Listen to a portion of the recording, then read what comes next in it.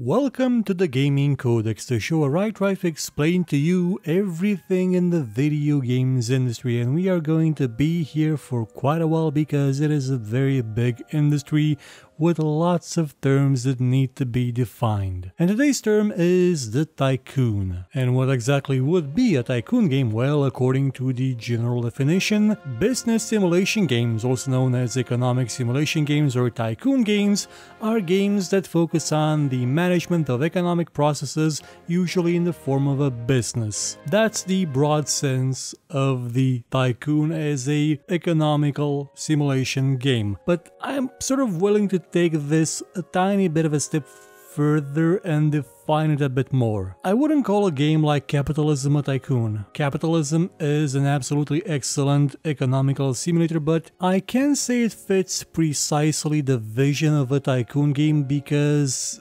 unlike a tycoon game, this does not limit you to one single type of business. A tycoon is a kind of game where you have to build from the ground up a business of a certain type. The first one, one of the first tycoon games ever made, the one that actually had tycoon in the name, actually I believe it was the first one, was Sid Meier's Railroad Tycoon, which put you in charge of your own railway company that you had to build from the ground up and manage it. But this game wasn't really what truly defined uh, tycoons. I dare say that not even Dino Park Tycoon, which according to Wikipedia was the second game to have the tycoon name, was what truly defined this species of video games. It was a combination of titles such as Pizza Tycoon, Theme Park, and of course Transport Tycoon. Yes, I know Theme Park doesn't have Tycoon in the name, but it is in the same vein. It's an economical simulator in which you, as a player, have to manage basically every detail of one particular business,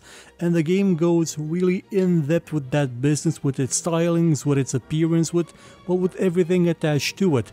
And it doesn't necessarily have to be true to life. Yes, Transport Tycoon is true to life until you start putting trees in front of the enemy's airports and see their planes crash. I think they uh, they'd reroute the airplanes or cut down the trees, but they don't. Also, that game has a railroad system that lets you build processors, which is not something you would see in an economical simulator, and that's the basic idea. Apart from the economical simulation of it, you have the other side. You have the enjoyment of the theme. You have the enjoyment of building something and seeing it work. You have the enjoyment of customizing something. You have the enjoyment of the underlying mechanics that are not necessarily completely dependent upon the economy. That's what sets a tycoon apart from just an economical simulator game. There is no economical incentive in Roller Coaster Tycoon to murder everyone in your park by drowning them in water or by building a roller coaster that somehow either explodes or um, accidentally terminates the same level to a very crowded alley and murders everyone. But it's part of the game, it's part of what makes Roller Coaster Tycoon what it is. Yes, I know it may not be one of the greatest distinctions ever made, it's blurry, it's downright subjective at times, but you can sort of feel it. Now, what would be the popular definition of a tycoon game? Well, let's say that that would be a game where you earn money by clicking on things in order to make more money, to click on more things, to get even more money, to etc. The tycoon game has sort of transformed a bit thanks to the... Uh, well, I would say the mobile age of gaming, but that's not actually true, is it? Mobile games didn't start this, they inherited this from very, very horrible developers who bastardized themes, bastardized ideas, and made them horrible, and yet still blanketed them in the appeal of the original. I am talking, of course, about Farmville and Cityville and all its ilks, games that fundamentally did not have any actual gameplay. You just clicked on the things that the game told you to click on when you could click on them, because there was a timer unless you paid up, so that you could then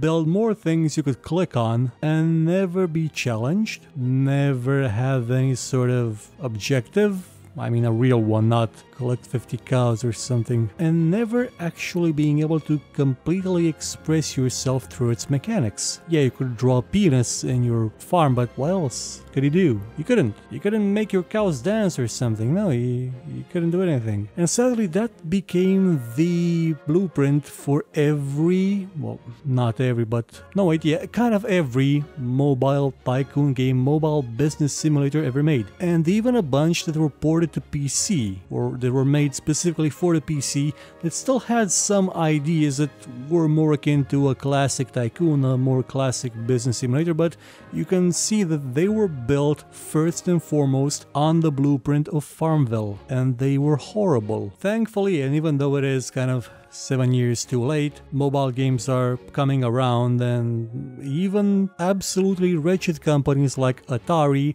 have released mobile ports, completely functional ones, of Roller Coaster Tycoon 1 and 2 in the same package instead of their mobile Roller Coaster Tycoon game, which was an atrocious piece of absolute filth not worthy of the name, not worthy of being called a tycoon because it wasn't, it was a clicker, an absolute goddamn sham. And sadly, this is what people now see as a tycoon game. Yeah, I get it. Y you may find it a bit relaxing to click on the stuff, oh look, I made money, oh look, I clicked on this, I made money, but it, the game has no lasting appeal, it has no drive to it, no soul, no ability to drown people that complain that your park smells by throwing them into the lake. Now, what is the marketing definition of a tycoon? Well, that's something that big publishers can sell for unknown reasons. Name one tycoon game made by a big publisher in the last couple of years. The only one that even comes close is Planet Coaster, which is made not by a big publisher, it's made by Frontier and they're publishing it, and it's a good game, it's a fantastic game. But Frontier isn't what you would call big. Oh sure, there is Atari, who made an atrocious new Roller Coaster Tycoon game because of the outrage over the mobile one. And it was horrible. And it couldn't sell it because it was horrible. Probably one of the last Tycoon games published by a big company was Zoo Tycoon again made by Frontier for the Xbox four years ago. And it's not like this genre is dead, no, oh, of course not.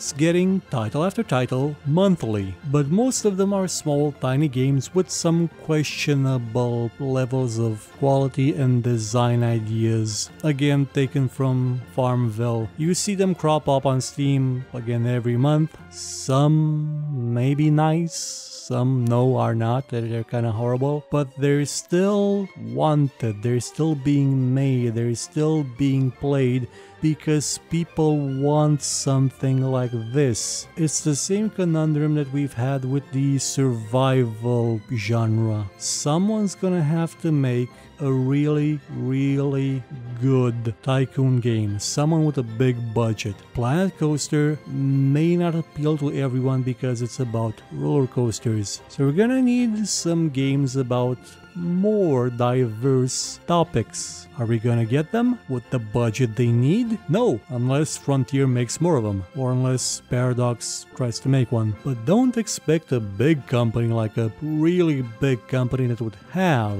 the uh, budget and even the demographics to actually do something about it. So closes the chapter on tycoons in the gaming codex. Come back next time for a more technical term. Goodbye.